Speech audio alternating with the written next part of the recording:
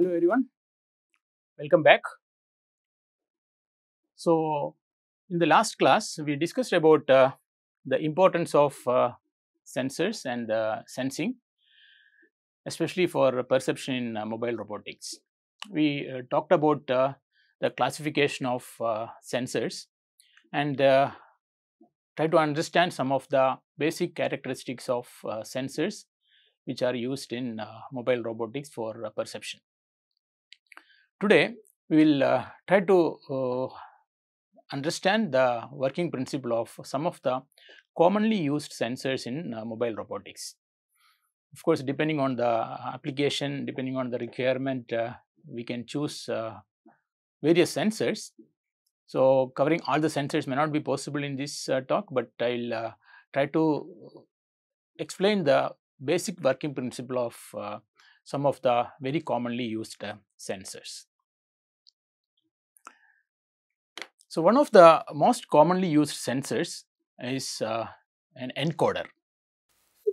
Wheel uh, motor encoders are primarily used to get the position of the wheel or the speed at which the wheel is rotating. So, either the position or the, uh, the speed can be measured using the uh, encoders. So, normally the encoders are attached to the wheels in mobile robots, so that we can uh, identify the RPM of the wheel and then use this RPM uh, to find out the distance traveled by the robot and therefore to locate the position of the robot. So, normally we can use the wheel movements which can be integrated to get an estimate of the robot's position and normally we call this as odometry. So, estimating the position of the robot using uh, uh, the encoders one is for the position then, then we can use additional information and then get the encoder data.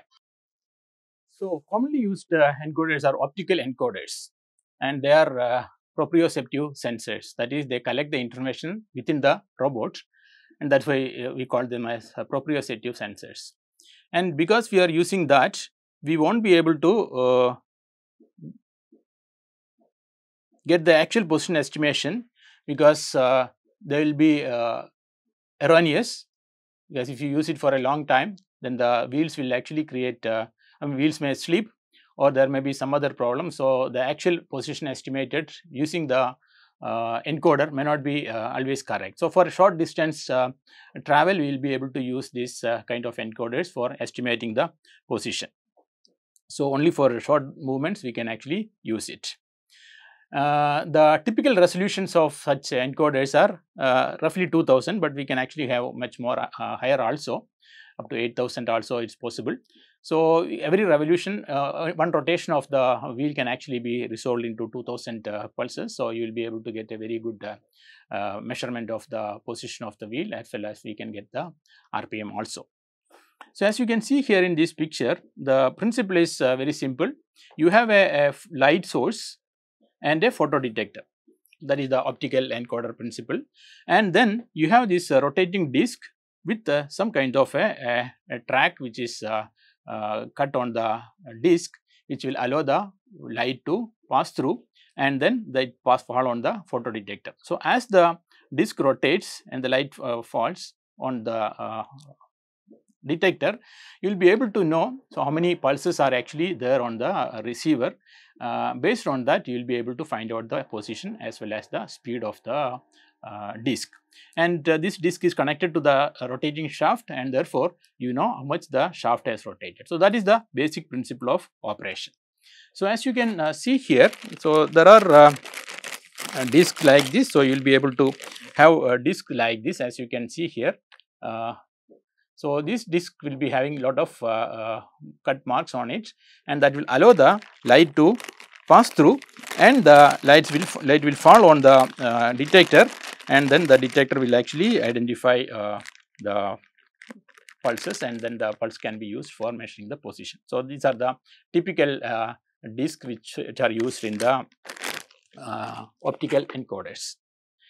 Now, coming to the uh, resolution, so you can see that uh, if you can have only one uh, round like this, one set of discs, you have a limitation. And if you want to have large, the increase the resolution, you need to have more number of uh, uh, this uh, cut po portions. So, to improve the accuracy or the improve the precision of the sorry improve the resolution of the encoder, we can actually use something called quadrature en encoders. So, the quadrature encoders will be having two detectors. You can see there are two detectors and a light source, and then there will be the coded disk.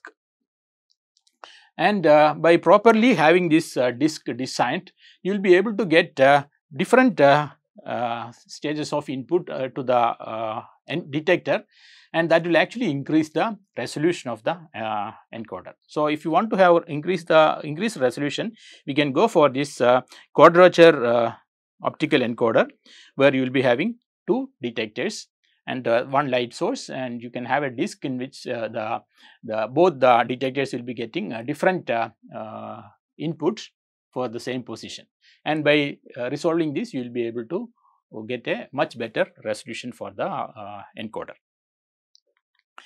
So, this, this one explains it. So, you have uh, A and B are two de uh, uh, detectors and then both will be having different pulses. So, each one will be having a, a different pulse for the same position of the disk.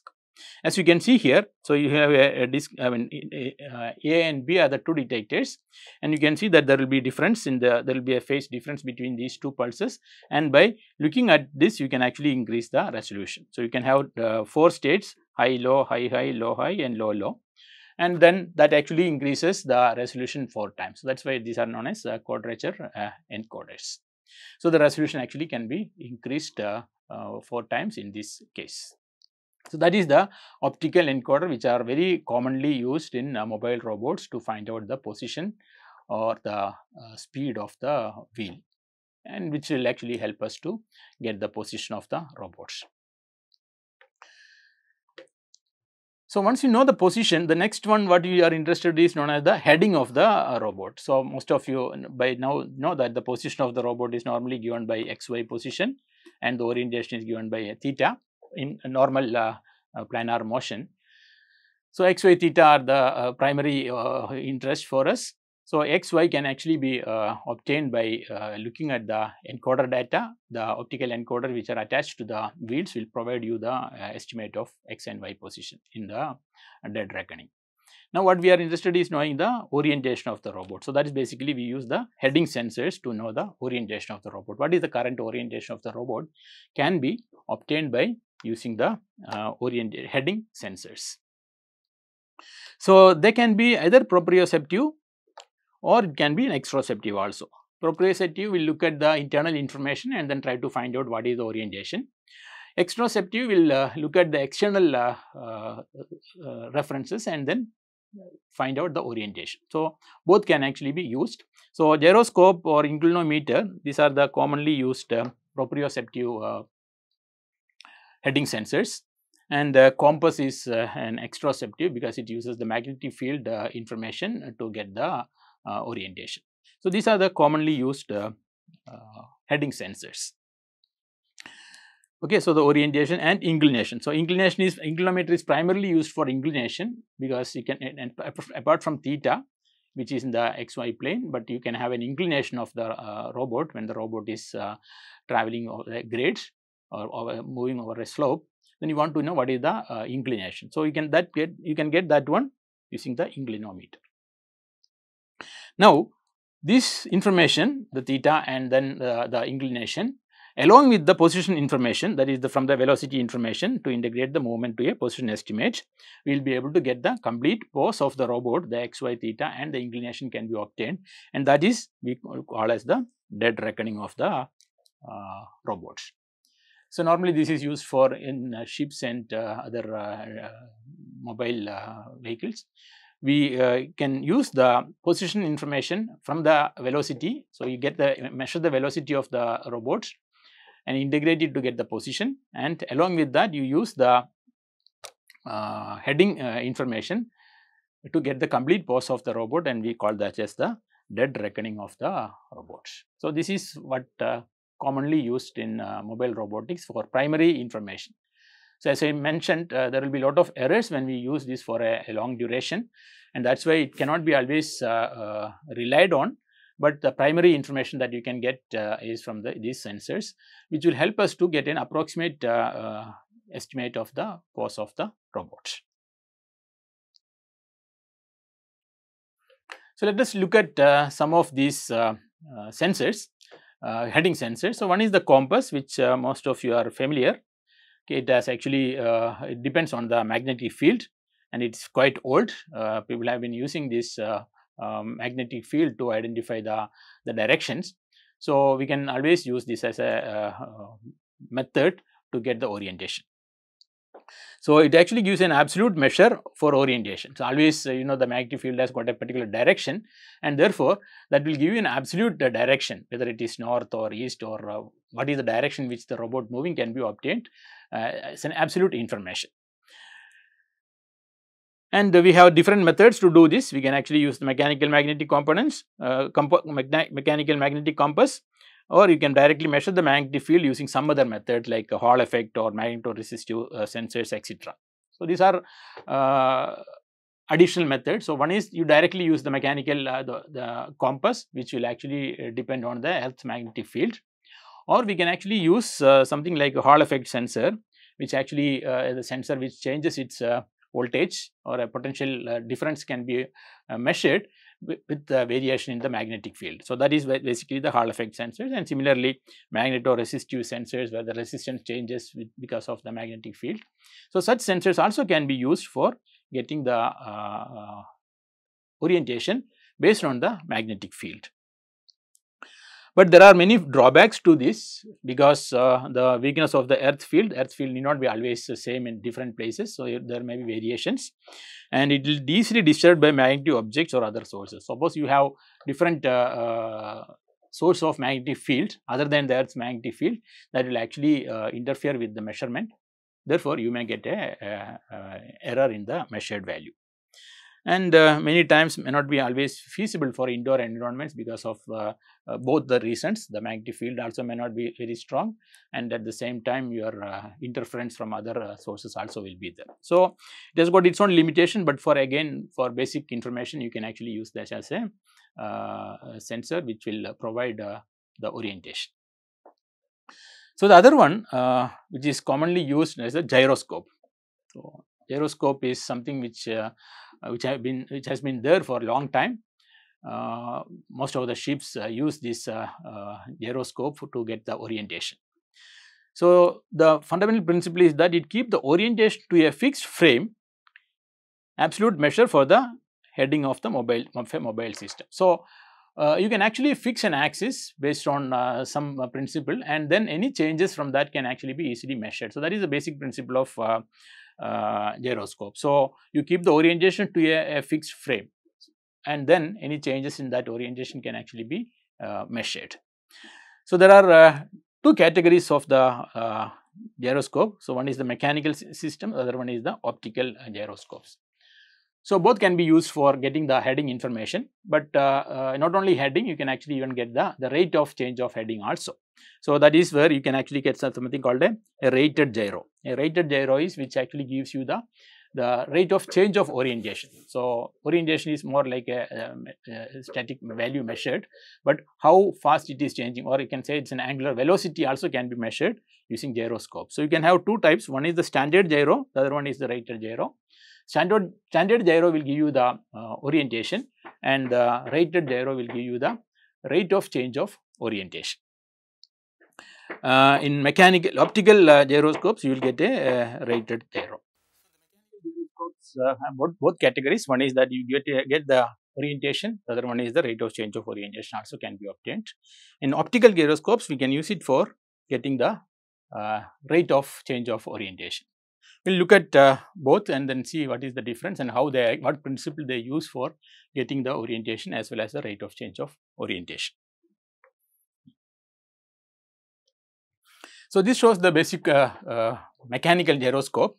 As you can see here, so there is a, a, spinning wheel here. So, as you can see this wheel, this center wheel is actually spinning at a particular uh, rate and it is actually along this axis. So, it has got an axis. Now, if this is uh, uh, rotating or spinning at a particular RPM, that, that is basically the, uh, it will be having some inertial properties and that properties are used to get the measurement. Okay. So, this uh, uh, one this is rotating uh, I mean it's spinning and it will be having an inertia to change its axis of rotation. And when any changes any change in uh, orientation will actually be resisted by a torque and that no torque is known as the precession torque. So, it will be actually creating a precession torque which we call this I omega and omega. So, this I is the inertia of the wheel and then uh, precession speed is omega and uh, the small omega is the spinning speed. The spinning speed is omega and then we get a precision, precession speed of omega.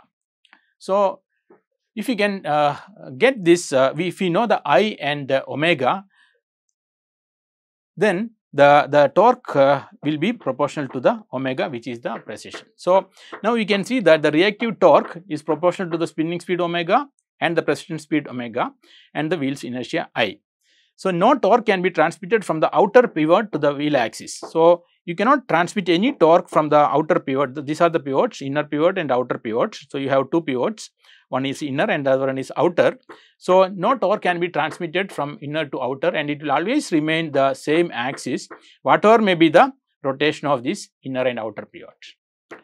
So, now if you uh, uh, have a rotation of the inner or outer pivots, this, this axis will still remain the same whatever may be the original rotation axis. And therefore, if you connect this to a, a moving system and, and rotating uh, system, you will be able to find out the orientation by looking at the, the changes in the uh, orientation of this axis with respect to the pivot. So, the pivot this uh, absolute uh, axis will remain the, the direction of this axis will remain the same it will not change. Okay, so, the spinning axis will be always space stable. So, this will be a, a space stable, the spinning axis will be always space stable and therefore, you will be able to identify how much the, uh, the system has moved or the whole uh, uh, uh robot has moved with respect to uh, this pivot by looking at the axis of the the spinning axis. The, the spinning axis will actually tell you what is the change in the orientation. That is basically the basic principle of the gyroscope. So, the this one will be uh, rotating and uh, when it is rotating there will be a, a precession torque i omega uh, omega and then any uh, you won't be able to change the uh, position this axis whatever may be the changes in the inner or outer part. So, whatever may be the torque is acting on, on this one will not be transmitted to this and therefore, this will always remain as the, the axis will always uh, remain space stable. So, that is the basic principle of uh, mechanical gyroscope.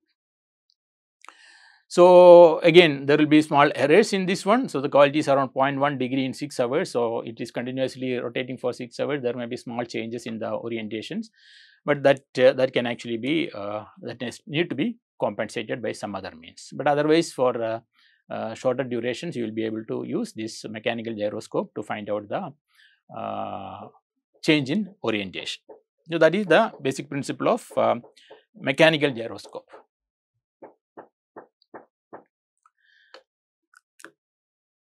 So, this can actually be converted to a rate gyro. So, rate gyro is basically the rate at which it is changing. So, the, the, conventional one will give you only the change in position, but the rate at which it is moving uh, can be also obtained by making some basic arrangements uh, with mechanical gyros. So, you can actually restrain these gimbals by torsional spring and then we can actually get the angular speed instead of the orientation. So, the torsional spring if you uh, restrain then the how much the, the string is actually getting uh, extended that actually gives you an, a, a, rate of change of the orientation or the angular speed can actually be uh, measured using that kind of an arrangement. So, you connect this to uh, restrain it by a torsional spring and then you can measure the, the spring extension uh, that will give you a, a value of the orientation, the angular speeds. Or some cases you can use Coriolis forces also to measure uh, these uh, uh, changes in heading. Okay, so these are the ways in which we can actually use the mechanical gyros to get the orientation or the rate of change of orientation. Most of the uh, uh, robots nowadays do not use mechanical gyros because of the difficulty in maintaining the mechanical gyros in a, a mobile robots. They were primarily used for uh, big vehicles or ships and other uh, bigger uh, vehicles. But nowadays, uh, not many uh, mechanical gyros are used uh, uh, in the uh, robots.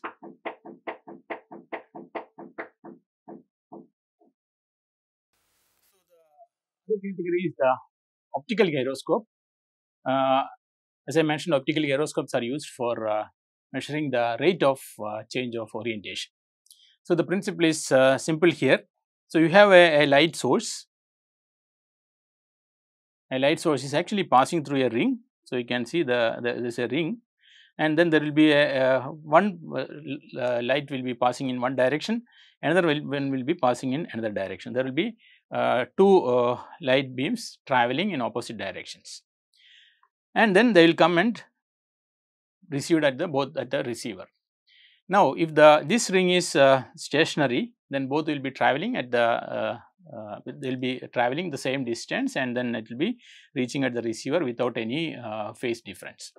If this ring is uh, rotating, then because of the uh, rotation of this ring there will be a small change in the phase between these the two received signal. So, that can actually be used to measure the speed of rotation of the ring. So, that is the basic principle of uh, optical gyroscope. Okay. So, so the angular speed using two monochromatic light source okay, beams from the same source. Then one is traveling in uh, clockwise, the other one is in the anti-clockwise direction around a cylinder and then as will be traveling in direction of rotation of the cylinder will be slightly shorter paths, shows a higher frequency. And the difference in frequency delta f of the two beams is proportional to the angular velocity omega of the cylinder. So, the this can be used for the uh, measurement of the uh, cylinder velocity. So, that is basically if the cylinder is rotating, you will be able to find out the velocity of the cylinder using the, the change in frequency. The delta f will be the, the change in frequency can actually be measured and that uh, basically uh, gives you the rate at which the cylinder is rotating. So, that is basically known as the that is the basic principle of optical gyroscope. so, nowadays uh, you do not need to have such a big uh, setup you can actually use uh, simple uh, uh, solid state uh, systems to get the optical gyroscopes assembled. So, it can be very small size you do not need to have very big size for the cylinder and other thing you can have very small MEMS based Uh, optical gyroscopes for getting the uh, rate of change of uh, orientation. That is one way of measuring the heading rate of change of heading. Okay, so uh, as I mentioned, the mechanical gyroscopes are uh, uh, big and difficult to use, and therefore now we have the MEMS based gyroscopes, that is micro electromechanical system gyroscopes the the principle of uh, mechanical uh, uh, sorry the MEMS gyroscope is based on the measurement of the Coriolis force or the the effect of Coriolis force. So, assume that a, a mass m is actually moving in the direction v in the in moving in this direction with a velocity v and it is rotating with an angular velocity omega with respect to the z axis. Then there will be a force, the Coriolis force will be acting in this direction. So, this is the basic principle of uh, uh, Coriolis force. So, it is moving in one direction and then trying to having a rotation uh, with respect to a normal direction, then you will be having a Coriolis force acting in this direction. So, that is the basic principle. Somehow, if we can actually uh, measure this uh, force or the effect of this force, then we will be able to know what is omega because we know this V and therefore, this course is this is proportional to the v and omega and therefore, we will be able to get what is this omega uh, if we can measure the Coriolis force or the effect of Coriolis force at the displacement of the mass because of the Coriolis force. So, that is the basic principle of uh, MEMS gyroscope. Okay, so, when a mass is moving in a direction v and uh, angular rotation velocity omega is applied, then the mass will experience a force in the direction of the arrow as a result of the Coriolis force. Okay, the, resulting physical displacement caused by the Coriolis force is then read from a capacitive sensing structure. So, you can have a, a, a method to measure the displacement using some capacitive measurement or something like that and that can be used to uh, identify what is the value of omega or what is the rate at which it is rotating. So, that is basically the uh, principle of uh, MEMS gyroscope. Okay, so uh, it is difficult to uh, have a, a, mass moving like this in a, in a sensor and therefore, we use a, a tuning fork configuration to design the MEMS gyroscope. The principle is this one, but the, the actual design is based on a tuning fork configuration. So, what is it? So, we will have two masses M as you can see here, they are separated using a, a connected using a spring and then they will be vibrating as if it is trying to move in this direction. Okay, so both are trying to move in the opposite direction and then the whole system is having a angular velocity omega like this and then it will be experiencing a Coriolis force both the mass will be experiencing Coriolis force and now you measure the displacement of this mass using some other method and that will be a measure of omega. So, that is the basic principle of uh, MEMS based uh, uh, with, the, with the tuning fork configuration MEMS based um, uh, gyroscopes.